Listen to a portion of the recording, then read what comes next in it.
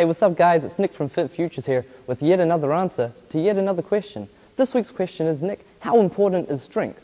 Now I often get asked this because I feel that people don't want to perform resistance training, probably because of the misconception that it can be a little dangerous. Well, in the words of the great Bret Contreras, if you think lifting weights is dangerous, try being weak, because being weak is dangerous.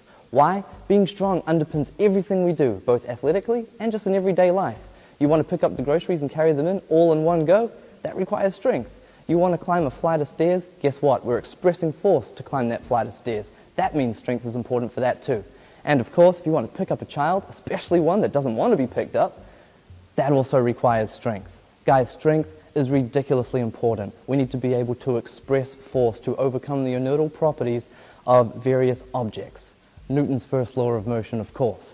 So, go and lift some weights, guys. And if you like that, I've got plenty more where that came from, so I'll catch you next time.